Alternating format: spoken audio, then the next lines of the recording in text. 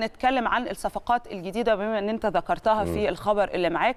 وعايزين نتكلم كمان عن فكرة هنا مودست تحديدا اللي المفروض المهاجم بتاع الفريق الجديد اللي قرر كمان كولر إن هو هيشاركه بإذن الله في أول المباريات الموجودة. اول الظهور ليه بحسب وجهة نظر. نرجع نقول طبعا كولر أكيد. شفنا ماتش السوبر كان عندك رضا سليم كان عندك إمام عاشور.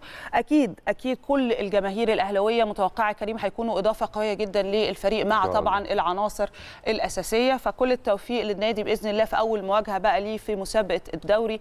يعني طبعا إحنا أصحاب اللقب وهرجع أقول اللقب الغالي بتاعنا في التوفيق للموسم الجديد واللي هيكون مميز بدون أي أزمات بقى في الكرة المصرية. ودي حط تحتها كذا خط لأن طبعا يعني مش هرجع أقول تاني في حد السبب في الأزمات اللي بتمر بيها الكرة المصرية بس هي موجودة.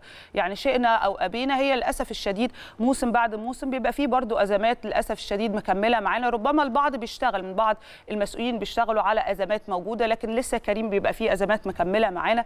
فنتمنى يكون في حال أو يعني أوضح كمان مش بس أفضل في الفترة اللي جاية. وإحنا برضو خلينا نبقى صرحة شوية أو ندي للناس حقها. في ناس كتيرة بتحاول يكون الدوري الدوري أو الشكل أفضل بكتير ويبقى فيه يعني تطوير كمان في المنظومة من الجهة بتاعته. لكن الرابطة برضو خلينا نقول بتسعى بقوة لانتظام المسابقة. نتمنى التوفيق لأن يعني الموضوع أصبح بصراحة في أمس الحاجة إن أنت فعلا تعمل جدول منظم. ما ما يعانيش منه فريق. وما بنتكلمش بس على النادي الأهلي.